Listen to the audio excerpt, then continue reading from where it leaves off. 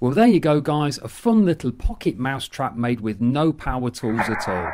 If you enjoyed that video, please smash the like button and let me know in the comments below what you'd like to see me build in the future. Thanks for watching.